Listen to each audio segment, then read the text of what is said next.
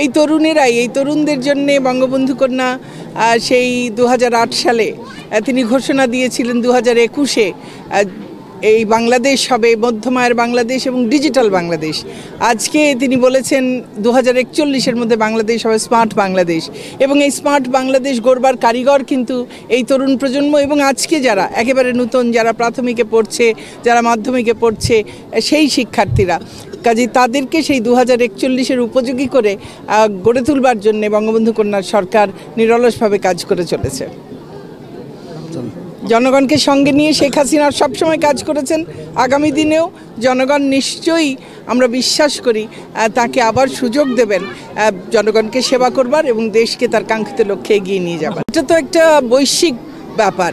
এখন যেটা চলছে, বাংলাদেশে আমরা কিন্তু অর্থনৈতিকভাবে আমরা অসামান্য সাফল্য অর্জন করেছি এবং আগামীতে আমাদের আরও যে বিশাল সব স্বপ্ন রয়েছে এবং সেগুলোর সম্ভাবনাও আমাদের রয়েছে।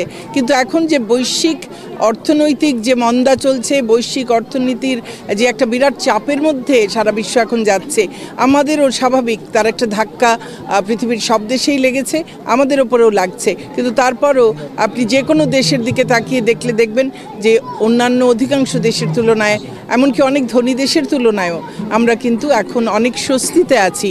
আল্লাহর কাছে অনেক শুক্রিয়া আদায় করি।